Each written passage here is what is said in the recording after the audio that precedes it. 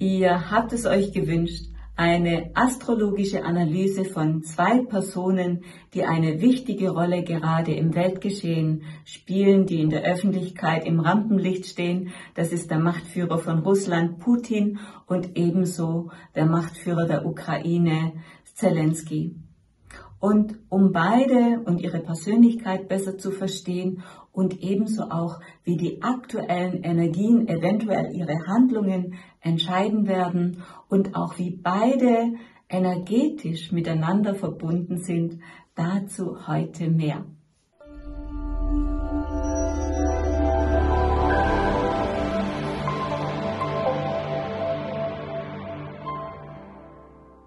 Wir beginnen jetzt mit einer kleinen Analyse des Geburtscharts von Zelensky und von Putin, schauen uns die Hauptaspekte an.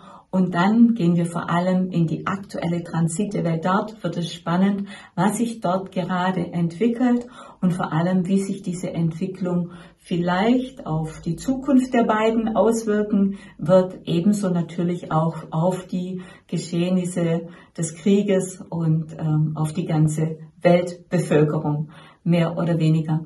Und ich blende hier gleich das Chart ein von Zelensky. Ich habe es hier geöffnet, hier mit meinem Laptop. Ich zeige es euch mal ganz kurz.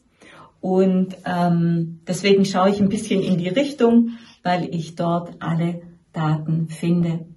Und in diesem Chart, diesem vedischen Astrologie-Chart, das sieht anders aus als das, was ihr vielleicht kennt von der westlichen Astrologie, wo ihr oftmals das in der runden Form habt. Wir haben das in zwölf ähm, Rechtecken, die ihr dort seht. Jedes Rechteck steht für ein Haus, steht für eines der zwölf Tierkreiszeichen und die einzelnen Tierkreiszeichen sind in diesem Chart fest. Das bedeutet, links oben beginnen wir immer mit Fische, dann kommt der Witter, dann Stier, dann die Zwillinge und die einzelnen Häuser, das bestimmt der Aszendent.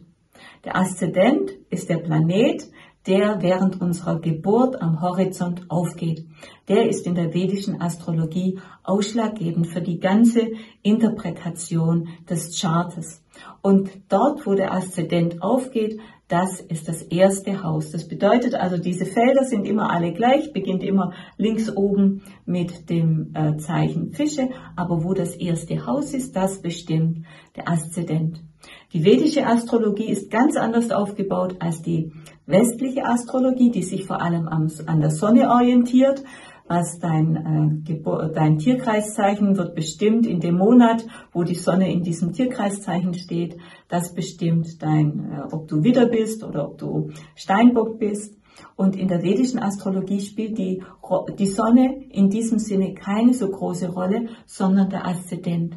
Deswegen ist es für uns relativ wichtig, dass wir das richtige Geburtsdatum haben, weil alle zweieinhalb Stunden wechselt der Aszendent, der Planet, der am Horizont erscheint und deswegen brauchen wir eine relativ genaue Uhrzeit.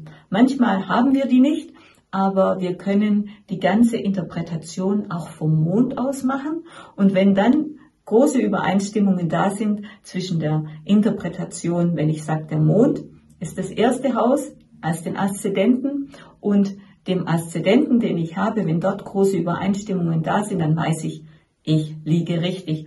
Und da bin ich mir ziemlich sicher, dass wir bei Oldemir Zelensky richtig liegen, auch wenn wir als Geburtszeit 14 Uhr haben und es vielleicht 14.04 Uhr war oder wer, ähm, ja, weiß es so ganz genau. Ja, wir beginnen und zwar hat Volodymyr Zelensky seinen Aszendent, seinen aufsteigenden Planeten zu seiner Geburt im Zeichen Stier und zwar die Venus. Und was ganz, ganz interessant ist, ist, dass ähm, nicht nur Zelensky seinen Aszendenten, de, der Herrscher des Planeten, die Venus ist, sondern ebenso auch bei Putin. Putin ist zwar geboren mit Aszendent in der Waage, aber auch er hat den gleichen Planeten, den gleichen Herrscher und der Herrscher bestimmt im Grunde auch das ganze Chart Venus. Zelensky und Putin haben die Venus. Und die Venus ist eigentlich der Planet, der für die Liebe steht, für die Verbindung steht, für die Schönheit steht, für die Kreativität steht. Ganz, ganz interessant. Und wie gesagt, Zelensky hat diese Venus im Stier, Aszendent Stier. Und das bedeutet vor allem, diese Schönheit und diese Liebe in die Welt zu tragen, in der Welt zu erfahren, in der Welt zu entdecken, das Leben zu genießen. Und, ähm, äh, und Putin hat den, äh, die Venus im Zeichen Waage und da geht es um Friede, da geht es um diese höheren Aspekte der Venus sozusagen, sie zu leben. Also ganz, ganz schön spannend, weil beide ja irgendwo nicht wirklich momentan zumindest ähm, diese Venus-Energie in äh, wirklich ähm, manifestieren sozusagen. Oder wie auch immer man das sieht. Ja, dann gehen wir weiter. Wenn wir hier beginnen, dann schauen wir, wo steht denn die Venus? Wenn der Herrscherplanet die Venus ist, sie ist nicht im, im ersten Haus, im Stier, sondern die Venus ist im neunten Haus und dort zusammen mit der Sonne. Und das neunte Haus steht für das Rechtssystem steht für die Gesetze, steht auch für die Spiritualität, steht für eine höhere Bildung, steht für einen gewissen Grad an Reife, den wir erreicht haben. Und dort finden wir seine Venus. Und die Venus zusammen mit der Sonne.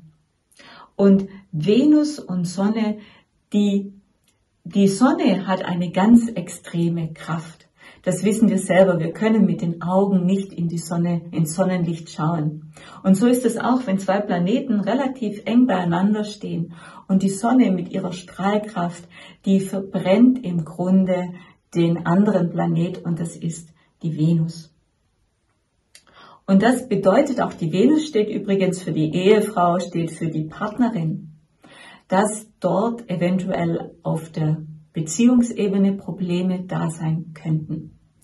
Dann schauen wir, wo ist denn Saturn, weil das neunte Haus wird normal vom Herrscher Saturn regiert und Saturn ist für, für Zelensky ein ganz, ganz guter Planet. Ich möchte gar nicht näher darauf eingehen, sonst wird es vielleicht zu umfangreich, aber Saturn ist für ihn ein sehr, ein Planet mit großen, ähm, äh, die, der sehr, sehr kraftvoll in seinem Chart sich zum Ausdruck bringt und Saturn ist im vierten Haus und das vierte Haus steht für das Zuhause, auch für die äh, Mutter und steht natürlich auch für das Land.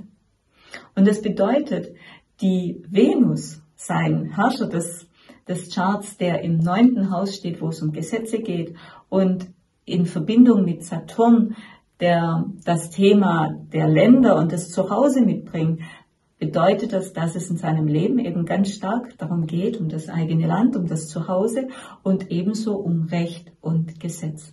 Und da ist er ja sozusagen an der richtigen Stelle. Ich möchte noch auf zwei, drei Aspekte hier eingehen. Wie gesagt, auf alles, das wird viel zu umfangreich. Er hat seinen Mars und seinen Mond im dritten Haus zusammenstehen. Und wenn Mars und Mond zusammenstehen, die sind auch ein ganz starkes, äh, starke Kombination, eine Konjunktion im gleichen Haus.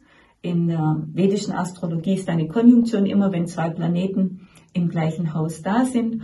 Und das nennt sich ein äh, Chandra Mangala Yoga, Chandra für Mond, Mangala für Mars. Und das weist auf ähm, ein großes Potenzial hin, dass er auch im Bereich äh, äh, seines Business hat, seines Geschäftes, geschäftlicher Erfolg. Darauf deutet es hin. Dann haben wir seinen Jupiter im zweiten Haus. Und das zweite Haus, da geht es vor allem um Fülle, um finanziellen Erfolg. Und mit Jupiter, Jupiter steht für die Ausdehnung, steht für den Optimismus, für den Reichtum, hat er also eine wunderbare ähm, äh, Bestätigung oder äh, sozusagen äh, für dieses Element der Fülle. Das bedeutet, dass auch er genügend finanziellen Background hat, den er sich selbst erarbeitet hat. Aber dieser Jupiter sitzt eigentlich im achten Haus. Das achte Haus und auch das ähm, elfte Haus, dort ist Jupiter zu Hause und das bedeutet auch in der Verbindung hat äh, besitzt dieser Jupiter eine Verbindung zum achten Haus Und das achte Haus, da geht es auch um nicht nur das, das zweite Haus, da geht es um die Finanzen, die wir uns selbst erarbeiten. Und im achten Haus geht es um Geld, das wir von anderen erhalten. Und mit Jupiter, mit dieser ähm, Opposition dort hinein, äh, wirkt Jupiter ganz stark auch im achten Haus. Das bedeutet, er wird finanziell unterstützt im Außen, wissen wir ein Stück weit auch von anderen Ländern, zum Beispiel der USA. Aber ebenso hat er auch einen gewissen finanzielle, finanzielle Fülle in seinem Leben erarbeitet.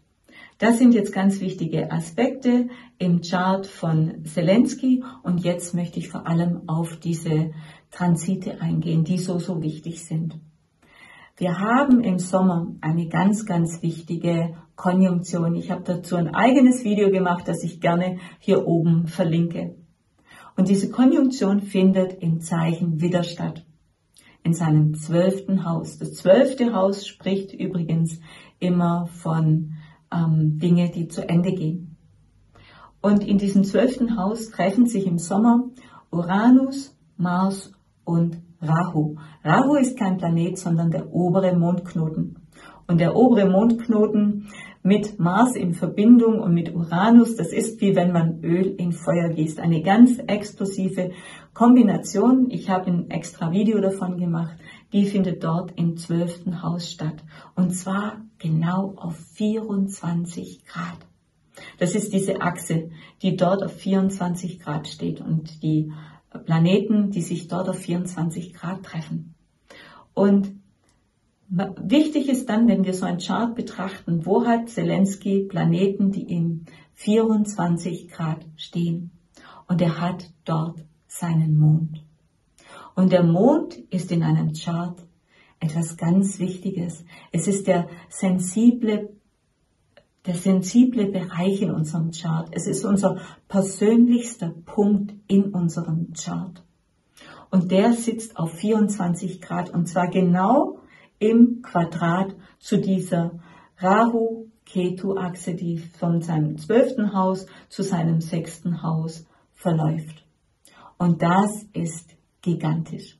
Das ist wirklich eine ganz, ganz wichtige Verbindung, die es ihm bestimmt nicht leicht macht. Im Sommer, diese Konjunktion findet am 1. August statt. Es ist immer so, dass diese Konjunktionen auch schon davor wirken und danach wirken, aber dort ähm, wird es für ihn wirklich ein ganz, ganz wichtiger Moment sein. Und nicht nur das, diese 24 Grad in seinem Mond, die finden wir auch auf der anderen Seite, und zwar genau gegenüber im Steinbock. Da hat bei 24 Grad der Krieg begonnen im Februar. Und Saturn saß dort mit Mars. Und die haben sich jetzt weiter bewegt, aber Saturn wird rückläufig und kommt genau auf diese 24 Grad Marke zurück. Und nicht nur das, er geht nicht nur zurück, sondern er bleibt dann dort einen Moment stationär. Die Planeten, wenn sie ihre Richtung wechseln, haben sie immer Momente, wo sie ähm, stationär bleiben, wo sie sozusagen wie bewegungslos aussehen. Sie sind nicht wirklich bewegungslos, aber so nehmen wir es von der Erde her wahr. Und das ist wirklich mega, mega stark.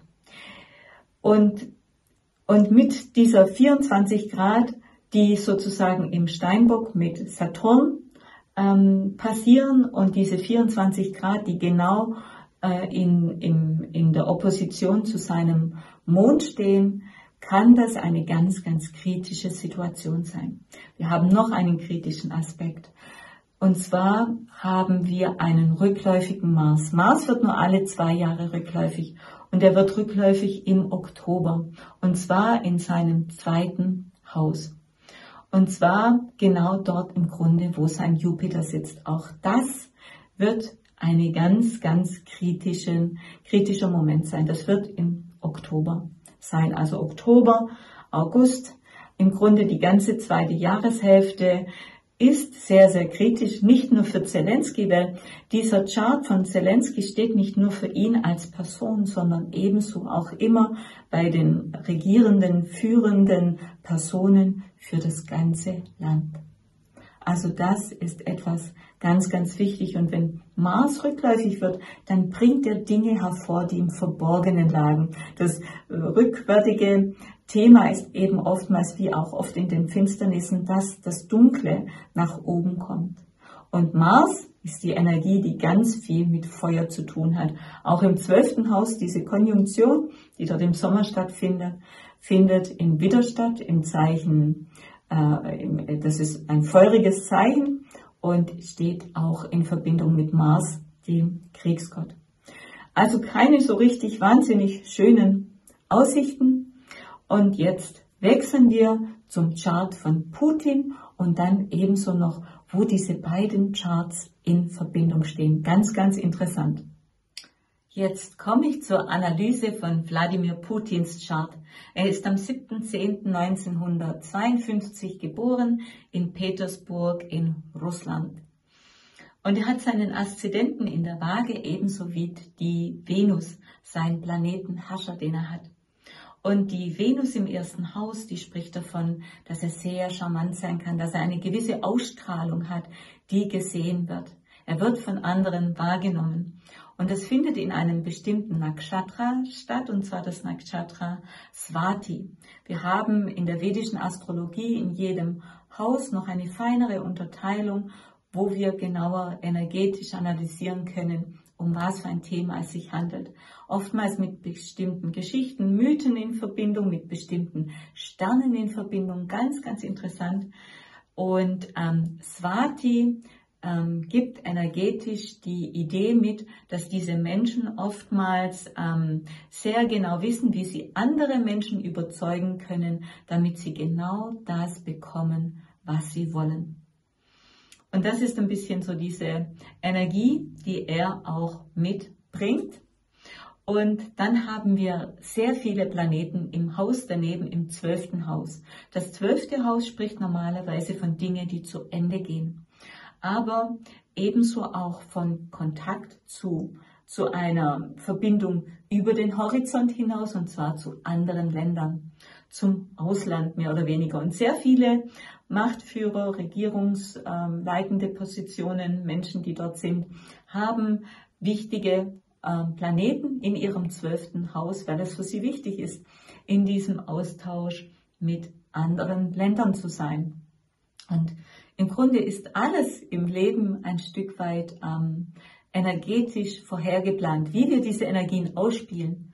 Das bestimmen wir. Das ist so, so wichtig.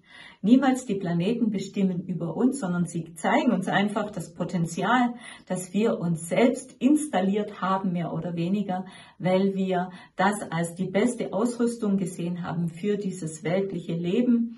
Und deswegen haben wir die Planeten im Grunde so platziert, dass es für uns passt. Er hat dort im zwölften Haus die Sonne und Saturn sehr, sehr eng aufeinander. Und die Sonne steht übrigens oftmals auch für den Vater, der Mond für die Mutter, der Mars oftmals für den Ehemann, die Venus für die Ehefrau, Jupiter für die Kinder. Und er hat die Sonne und Saturn sehr eng aufeinander. Und das bedeutet, ein gewisses Konfliktpotenzial ist dort da. Die Sonne, wie wir auch bei Zelensky gesehen haben, hat eine gewisse Strahlkraft, eine Mega-Power, die den anderen Planeten in ihrem äh, direkten Umfeld mehr oder weniger überstrahlt oder, wie wir auch manchmal sagen, verbrennt. Und das bedeutet ein gewisses Konfliktpotenzial vielleicht in Bezug auf der Beziehung zu seinem Vater, vor allem wo es um den Selbstwert geht, weil die Sonne spricht ganz stark auch von unserem Selbstwert. Und Saturn und Sonne, da geht es sehr oft darum, dass wir dieses Gefühl haben, dass wir nie gut genug sind, dass wir unseren Selbstwert nicht wirklich finden. Dann haben wir hier noch Neptun und Merkur. Neptun steht ganz oft der große Wassergott mit seinem Dreizack für ähm, ebenso für die Täuschung, dass wir uns täuschen lassen, aber auch eventuell, dass wir andere täuschen. Also das ist ein ganz, ganz wichtiges Thema und vor allem steht es unmittelbar in Verbindung mit Merkur. Merkur ist unsere Auffassungsgabe, unsere intelligente Fähigkeit, die wir haben. Und wenn Neptun und Merkur in so einer engen Verbindung stehen, dann bedeutet das, dass ähm, wir vielleicht manchmal uns täuschen lassen, dass wir vielleicht sogar Wahnvorstellungen haben. Das könnte dort zum Beispiel der Fall sein. Merkur steht dort an einer ganz, ganz wichtigen Stelle in diesen 29 Grad. Es ist übrigens die höchste Gradzahl in diesem Chart und bedeutet, es ist das Atma Karika. Und das bedeutet, dass dort die Person ihren Fokus besonders darauf hat, wie sie sich selbst wahrnimmt. Und das ist mit Merkur ihre oder seine intelligente, seine Intelligenz. Und dieser Merkur sitzt auf einem bestimmten Fixstar und das nennt sich, der nennt sich Spica. Und Spica ist der hellste Stern ein ganz besonderer Leuchtpunkt. Und das bedeutet, dass dieses Thema seiner Intelligenz äh, noch mehr Licht bekommt. Das bedeutet, dass er eine außerordentliche Fähigkeit hat in seinen äh, Fähigkeiten, in seinen Fähigkeiten mit seinem Verstand, Dinge zu erfassen.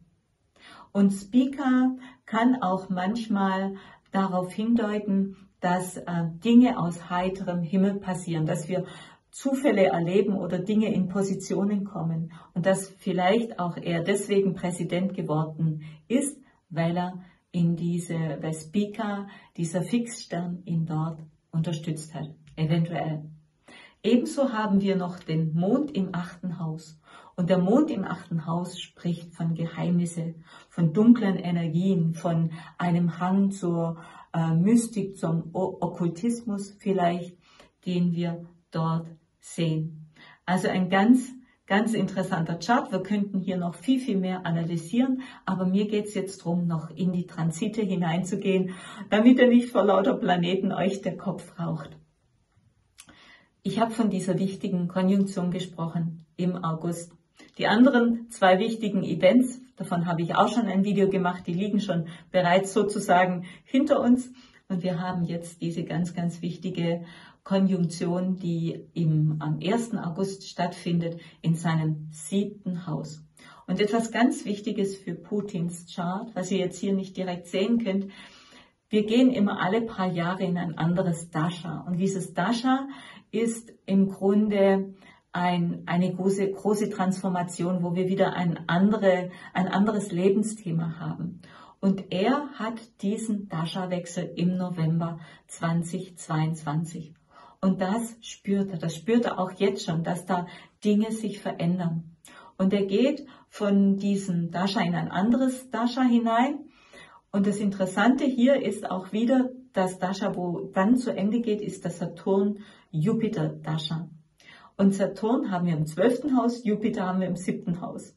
Und es sind genau acht Häuser, die die beiden sozusagen verbinden. Und wir haben äh, in der vedischen Astrologie arbeiten wir ganz stark auch mit der Numerologie zusammen. Ganz, ganz spannend finde ich das. Und die acht steht für Dinge, die zu Ende gehen. Und das findet im siebten Haus statt. Und das siebte Haus ist das Haus, wo es um Beziehungen geht, wo es um Ehe geht, aber ebenso auch um übrigens unsere Feinde. Ganz interessant die Kombination, ähm, wo es um die unsere Feinde geht. Und mit Jupiter, der dort am 1. August noch energetisches, ähm, äh, eine, eine energetische Ballung dort stattfindet mit Rahu, mit Mars und mit Uranus, die sich dort dann auf 24 Grad im Widder befinden, am 1. August triggern diesen dieses siebte Haus für ihn und diesen Jupiter, der von diesem Ende spricht, von diesem Ende, von diesem Dasha.